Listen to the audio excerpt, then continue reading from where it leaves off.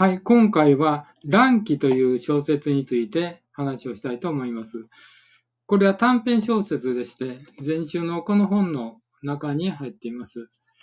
簡単に言えば、江戸時代の前田利家と織田秀親の事件です。主人公は前田利家、加賀の前田利直の射程でうねめの将です。利政は22歳の時に将軍綱吉の奥詰め衆になりました。利政の家は歌手家で、姉は老中松平信詰の内室であって、綱吉に気に入られていました。また柳沢義康もそういう背景を持った人物なので、ひいきにしていました。同じ奥詰衆に織田剣持秀親がいました。剣持とも秀親とも言います。信長の末裔ですが、あまり目立たない存在でした。秀親は利政が引き立てられているのが気に入らないようでした。利政も秀親に反感を持たれていることを知っていました。それで二人の仲は良くなくて、そのことは柳沢義康も気がついていました。その後、綱吉が死んで、次の将軍家信になると、綱吉の周囲の者が次々と退いていきました。柳沢義康も隠居を申し出て去っていきました。だから、えー、豊島の後ろ盾となる人がいなくなってしまったのですね。綱吉の葬儀が行われることになりました。そこで、利政は京都から来る直進などの共応役、まあ、ご馳走役とか接待役とも言いますね。その共応役をすることになりました。で、利政は中宮司の担当で、秀親は第1号司の担当になりました。まあ、1号というのは日本の朝廷において、対抗対号、皇太后、皇后の3号に準じた処遇を与えられたもの、またその待遇称号というような意味です。まあ、このあたりの歴史的な言葉は難しいので解説に書いておきます。で、豊政は担当の中宮司と大事号司とは格が同じようなものなので、秀親と相談し合って取り計らうようにと上の者から言われました。それを聞いて、利政は顔色が変わりました。嫌いな秀親とうまくできるわけがなく、憂鬱になっていきました。それでも担当だから仕方なくことを進めていきました。利政はそれから次第に顔色が悪くなっていって、ノイローゼのようになっていきました。それでも協約の務めを続けていきました。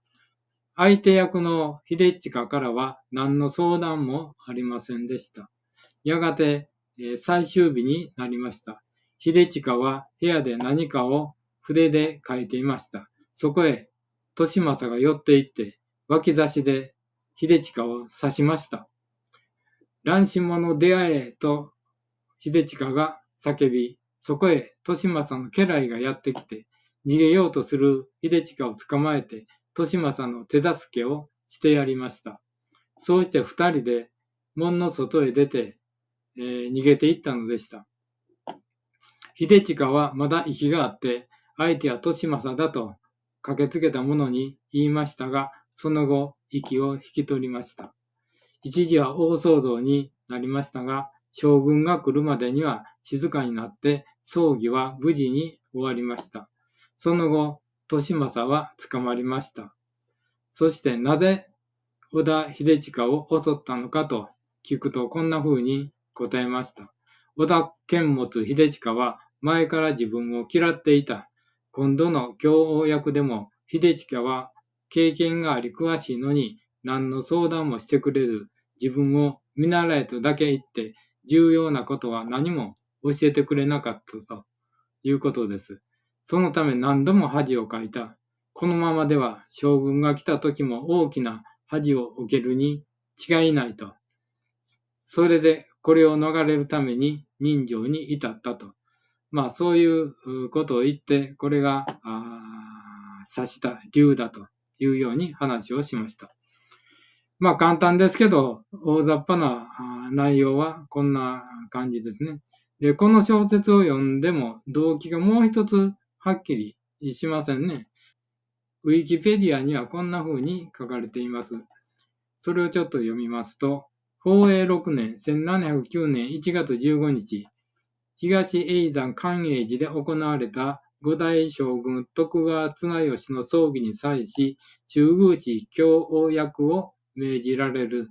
同役の大呪言師教王役は、以前から仲が悪かった大和国柳本藩主の織田秀親であった。2月15日、翌日の将軍徳川家信の参詣の行事について書かれた老中の法書が届けられた際、教王役はそれを回覧することになっていたが、秀親は利政に見せようとしなかった。で、その場で利政は一時小刀に手をかけるも、赤穂事件のことを考えて一旦踏みとどまった。翌2月16日、利政は寛永寺吉祥院の宿坊で秀親を視察した。その後、山城国淀藩主石川義孝に預けられ、同月18日に切腹となったというふうに書かれていますね。それから織田健元秀親の方にはこんな風に書かれています。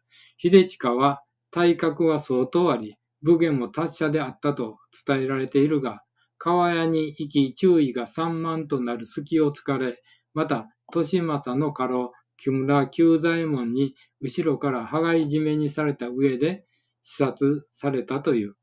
木村と利政は前日から秀親を殺害すべく周到に計画を立てていたのだというというふうに書かれています。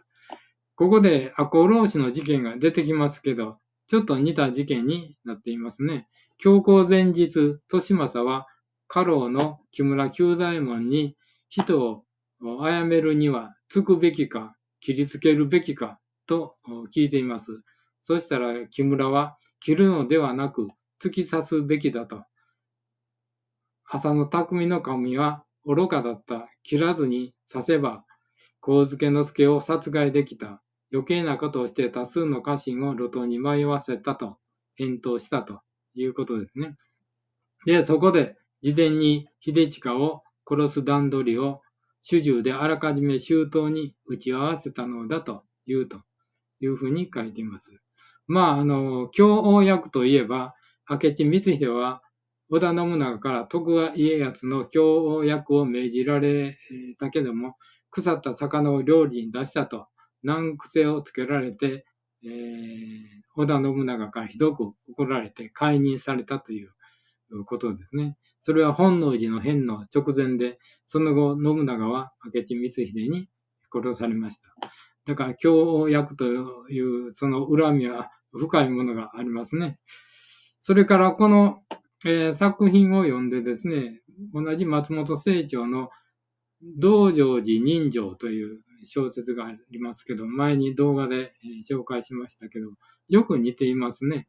同じように四代将軍家綱が亡くなった法事の席での人情沙汰で、法書を見せなかったことから事件が起きます。ということで、えー、今回は乱気という小説、歴史上の実際に起きた事件をもとにして書かれた作品を紹介しました。ではまた別の作品でお会いしましょう。チャンネル登録もよろしくお願いします。